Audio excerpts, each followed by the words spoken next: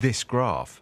Wholesale electricity prices spiked massively in the big financial spasm of 2008, and retail prices charged to the consumer rose as a result. But then look, as the wholesale price falls back, the retail price stays high, coming down only ever so slightly and ever so slowly.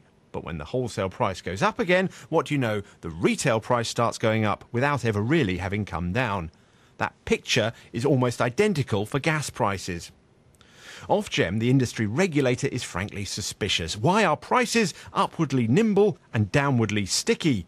Competition between the big six, they conclude, has been stifled.